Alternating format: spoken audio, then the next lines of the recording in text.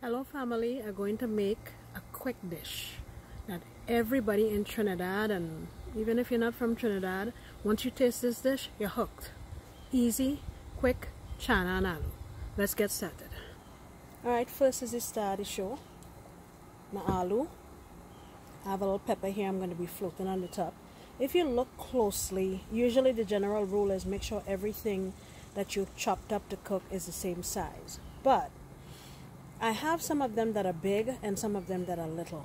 And the reason I did that is because I like machana and aloo to have a little bit of substance. I like the sauce to be slightly thick. So I figure by the time these are cooked, these little ones will be melted and I'll have a nice consistency. The next component to chana and aloo is the chana. Right here I'm using one can of chana just because it's easier and more convenient. Here I have what's called a bouquet garni, is some bandhania and a couple sprigs of thyme. You see here. I tie it up with a piece of foil so that I can pull it out of the dish after and not have my dish discolored. That said, here I am discoloring my dish because I blended up my garlic after I blended up some bandhania so it has some green specks in here. In here, I have four uh, grains of, you know, de decent sized garlic. The next thing we have here is some Trinidad curry, curry powder. And lastly, some hardi. Okay? I have my pot here, and what I'm to do is get some oil in it, heat it up, and we'll get rocking and rolling.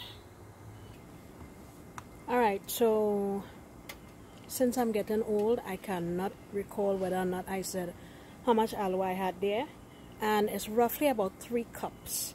Of course, it's not a precise measurement just because the aloos are in the aloo is in chunks and there are spaces between and all that. But roughly about three cups. Okay. Alright, so my oil is hot. I'm going in with my garlic.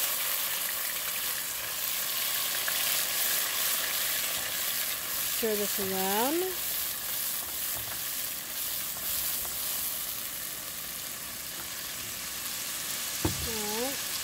Then I'm going to go in one time with my curry.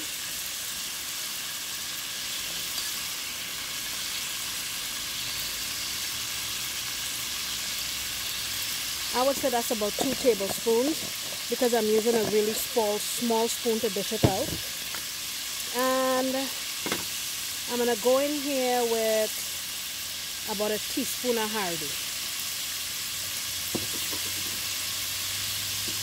So what I'm gonna do is allow this to saute slowly just so that the curry releases all of its wonderful flavor.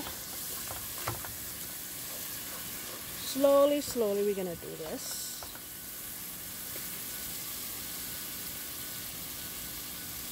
okay? And then we'll come back. Alright I'm adding a little bit of hot water here just to make sure that the curry cooks through nicely and it doesn't taste raw once we start assembling the dish. We let this go again for another couple of minutes. Alright this looks quite good. So I'm gonna go in now with my chana and my aloo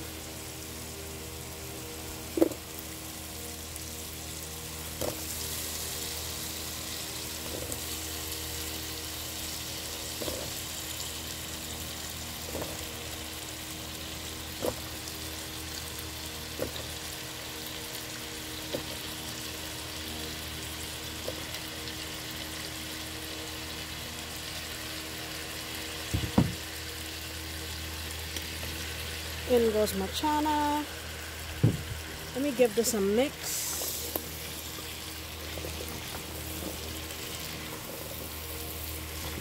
So we have some really nice color going on there. That's awesome. Alright. Now I'm going to put in my bouquet garni, my pepper. I'm going to go in with a little bit of black pepper. Not much. And you know me, I put Maggi and everything. I'm going there with about tablespoon and a half. Alright?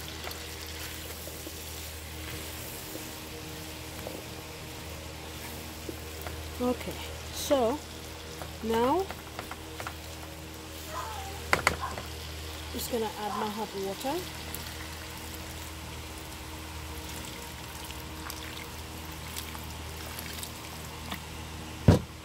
To almost cover the aloo. You still want to see a little bit peeking out. Okay. And we're gonna bring that up to a boil, cover it, and let it uh, cook until the aloo softens and comes to the consistency that we like. I would say that that's gonna take about um, 20 to 25 minutes. So let me bring this up to a boil, I'll cover it, and then we'll come back. It's been about five minutes and our aloo smoking out the neighbors. They must be vexed. They can't get none. Um, this need to go again for a little bit more. I'll come back when um, it's all done and give it a taste. Alright, look at this aloo. Fantastic. Nice consistency in the sauce. Now I can pull out my bouquet garni you know, I like when I make a dish, people taste the flavor, but they don't always have to see the ingredients. So I take that off. Let me plate this up and come back and taste it. Okay, here is our final dish. Time to sample the merchandise. Let's see here. Let me make sure I get a little bit of aloo and chana on this bike. Whew. The Texas heat gets into my boy. Alright, here we go. Oh god. Oh my goodness. Whew, that tastes so good. Delicious. I challenge you to try it. I challenge you to find and more tasty chana and. Do the damn thing. Wow. Absolutely delicious. Come back again when I'll make another recipe. Bye-bye.